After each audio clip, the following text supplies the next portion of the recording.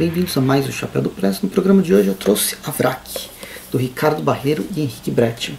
Uma publicação recente da editora Lawrence que sempre traz uma surpresa pra gente. Uma surpresa geralmente do universo né, da, da Argentina, aqui da, da América do Sul. Bem, a editora Lawrence, a gente sempre lembra que ela foi uma das responsáveis por trazer de volta né, o universo Bonelli para além de Tex, Zagor e Júlia, que era publicado na Mitos, com o Dylan Dog, e a partir dela outras pessoas resolveram fazer experiências e aí a gente está nesse cenário bastante promissor. Mas além né, do Dylan Dog, ela trouxe também outras revistas e a Brack é a mais recente delas.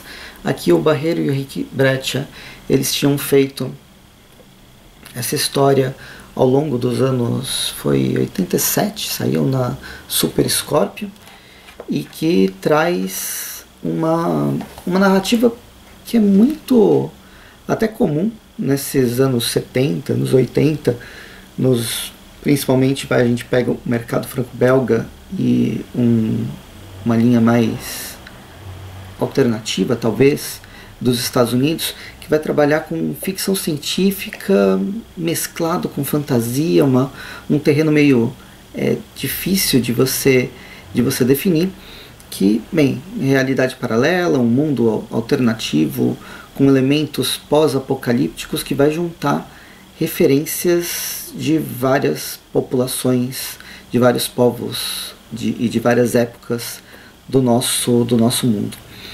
Bem, a Vrak a leitura de Avrak, que se encerra só nesse, nesse encadernado aqui. A gente tem 140 páginas, 150 páginas contando os extras, em 11 capítulos. E são. E é uma história completa. Ela, ela encerra aqui, mas daria para continuar por, durante muito tempo.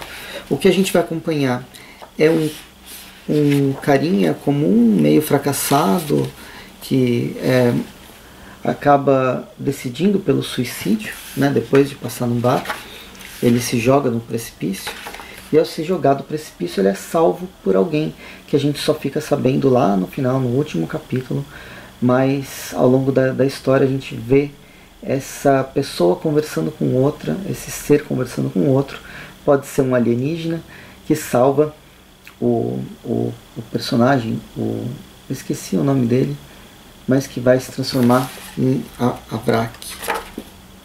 Avrak. Aqui, olha só, deixa eu ver aqui no começo.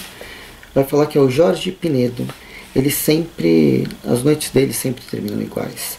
Depois de recorrer à totalidade dos bares do Caribe, acaba sendo posto porta fora de todos a partir do momento em que seu estado de embriaguez torna-se insuportável para o restante da humanidade.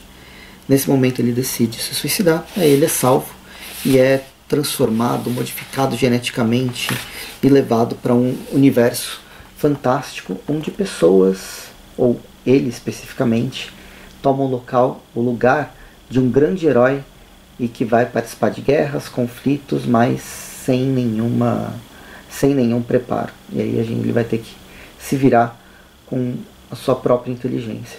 Ao longo da história, né, ao longo dessas 150 páginas, a gente descobre por que, que ele estava tentando se suicidar, por que, que ele se jogou, qual que é a, a história desse próprio mundo. E na verdade a gente tem o Breccia e o Barreiro fazendo, amarrando muito bem do, do início ao fim, né?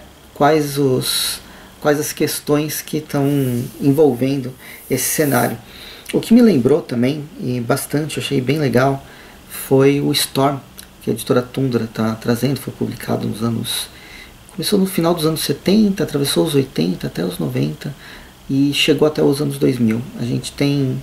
Bem, a Tundra vai publicar a primeira fase, que acho que vai até os anos 90, que é justamente sobre um astronauta que vai para um futuro muito longínquo, onde a humanidade já se modificou completamente. Então tem esse misto de tecnologia avançada com tecnologia mais. o desconhecimento da tecnologia, com organizações sociais mais é, tribais. Aqui em Avrak acontece a mesma coisa, com é, modificações genéticas mais interessantes, como o próprio, a própria águia que o protagonista voa, ou um, criaturas marítimas que os, o vilão, um dos vilões tem. Né? Ele tem um castelo em cima de um caranguejo, de um siri colossal. Enfim, a história vai se desenvolver a partir disso, com o Avrak não sendo um herói. Ele acaba se envolvendo, ele acaba fazendo atos heróicos, mas ele é super reticente em todos os momentos. Isso não torna ele é, mais chato. Eu acho que constrói, isso ajuda a construir um personagem bem interessante, na verdade. Enfim, esse foi a Avrak, do Ricardo Barreiro com o Henrique Breccia mais uma publicação da editora Lawrence que acho que vale a pena. É em capa dura, aquela folha offset de alta gramatura, tudo em branco e preto, tem textos extras, tanto na introdução quanto na conclusão, que dá um desenvolvimento maior para perspectiva do personagem, quem que é o Avrak, quem são os autores, com a biografia deles aqui no comecinho, bem, bem pouquinha, mas já dá para entender mais ou menos qual é o período, qual é o momento que os dois autores estão trabalhando aqui com esse personagem. Enfim, vou ficando por aqui. Eu quero saber de vocês. Se já conheciam o Avrak, não conheciam, ficaram vontade, com vontade de ler ou não, a gente conversa nos comentários. Enquanto isso, me siga nas redes sociais, arroba onde eu falo sobre filmes e séries, lá no Instagram.